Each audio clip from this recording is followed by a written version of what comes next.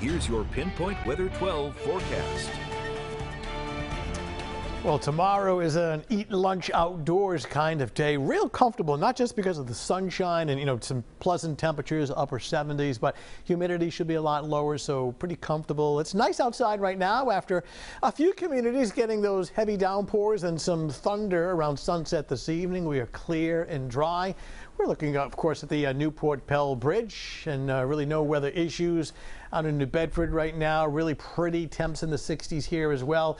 Still some humidity left in the air, but it'll be dropping overnight. You'll really notice a more refreshing air coming up for uh, tomorrow. High temps today, uh, mid to upper 70s, even 80 in Taunton, and really similar temperatures, not just for tomorrow afternoon, but you could probably tack on both Thursday and Friday each afternoon, generally in the upper 70s to near 80 and the beaches about oh 70 75 cooling back later in the day with the sea breeze most spots now are in the mid to upper 60s including 67 in Providence so a nice evening Clear skies overnight. Drier for midweek, meaning the humidity levels are going down Wednesday, Thursday, and Friday. And overall, Father's Day weekend, not bad. Just a little snag for like late, late Saturday afternoon, early Saturday evening. And, and that is only just like a passing shower. Still feel as though most of Saturday should be okay, but right now Father's Day Sunday is uh, pretty nice. All right, system that passed through uh, this evening with some of those isolated showers and thunderstorms now heading offshore. Behind that, low humidity and dry air starting to work in overnight tonight and through all of Wednesday. In the meantime, uh, hurricane season.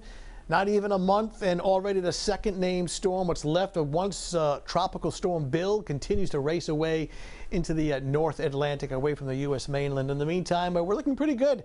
Getting real close, and we'll walk you through it hour by hour. Watch the time bar right up in here. We'll take you into tomorrow morning.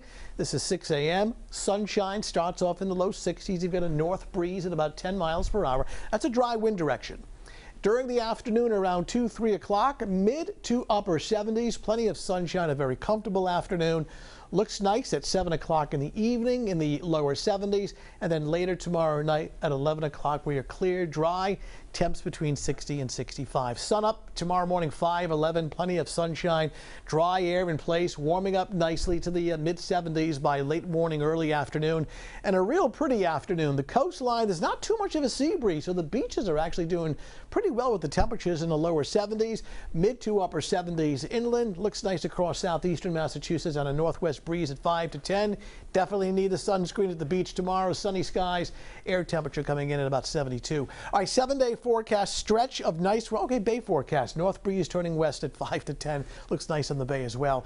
Nice stretch of weather through Friday. Saturday, not bad. Just watch for that late day or early evening shower. Nice Father's Day, Sunday, sunshine with highs around 84. Looking good, really, next uh, four to five days.